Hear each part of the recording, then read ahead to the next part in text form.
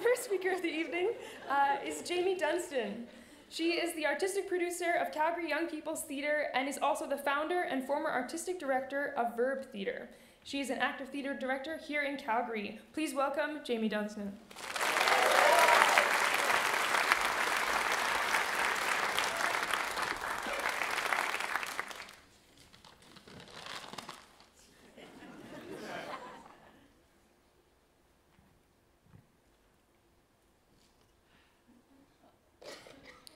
On day one of theater school, the very first thing they teach you is about a guy named Aristotle and something he wrote called the Poetics, which sounds beautiful but is actually boring as hell.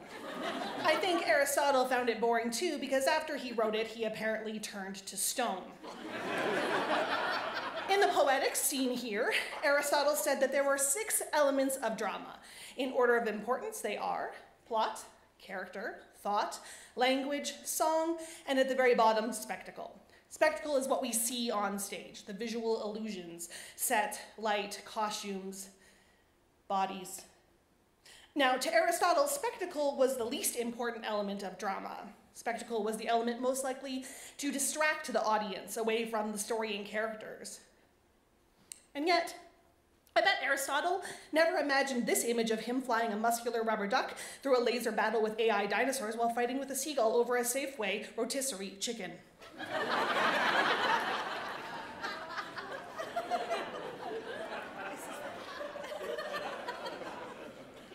I don't know why he thought that would be so distracting.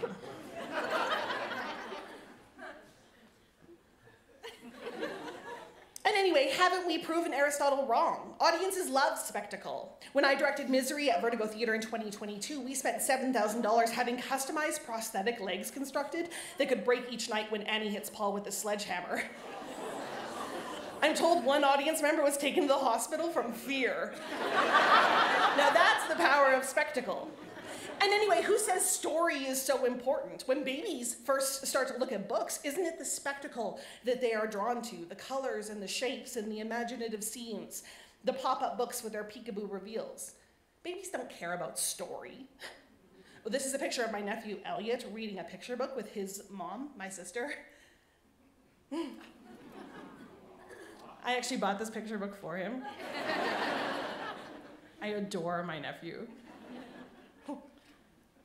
so much.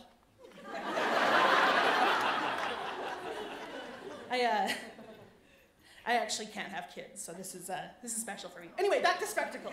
Actually, can I show you one more? this is Elliot and me at the zoo last summer. I took him to see the red pandas. Elliot and Auntie Jamie, he calls me Mamie because he can't say the J yet. Mamie. Mamie. Th this next one is the first time I met him. it's, it's funny, but when I first found out I couldn't have kids, I didn't really understand how much it would affect me. I didn't understand that years later, when I met Elliot for the first time, I would feel both unimaginable love and unspeakable grief. Can you see it?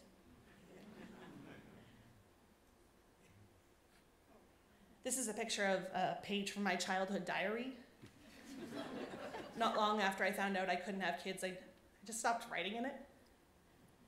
Um, the day I found out why I can't have kids was a day like any other. I'm, uh, I'm not actually sure if I remember the date now, but there are images from that day that seem to have stuck in my head forever. Tiny moments of spectacle printed into the inside of my lungs. Um, I'll show you some of those images now. Uh, this first picture is a picture of the snow that was on the ground that day. It was so white in the evening streetlights, I couldn't understand why the snow had sparkle to it when nothing else seemed to anymore. Um, this next picture is of the wall in my doctor's office. I, I think the paint color was called cloud white or Swiss coffee white. I don't know. I just kept staring at it. I didn't want to look at my doctor because she had this look on her face that doctors shouldn't look so scared. This next one is a picture of my DNA. I probably shouldn't have made it life-sized. But if you look closely, you might notice the same thing that scared my doctors XY chromosomes instead of XX. I was born with male DNA. I am male. But something went wrong. If you're confused, imagine how I felt. This is a picture of the sheet on my bed that I hid under for days, erasing everything I thought I knew about myself and the world around me. Until one day, eventually, that big white sheet started looking less and less like a void and more and more like a blank canvas. Now, this picture is a little different from the last six slides because this one actually has nothing on it, unlike the others. Because this slide is about realizing that an empty space isn't empty at all. It's full of potential, of all the things you don't even know you can imagine yet. For example, this next slide is a picture of the Big Bang, the blinding light when it exploded all of the stars, which make up you and me and Cirque du Soleil acrobats and my nephew Elliot and Aristotle. And because we all come from this light, we are all stars in one big constellation. This next picture probably looks exactly the same, but it's actually the blinding light that actors see when they look out across the audience from the stage. Is it the stage lights glowing in their eyes, or is it you?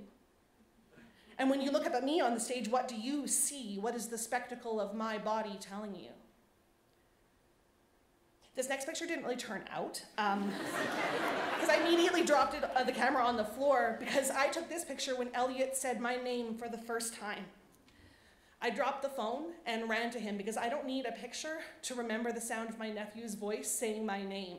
Song is more important than spectacle. This is a picture of Aristotle and I meeting up in heaven. we do an elaborate high five that seems spontaneous but is actually very choreographed. If you can't see that picture, it's probably because you're not in heaven because of that thing you did. and don't worry, what you see is never the whole story anyway. Thank you.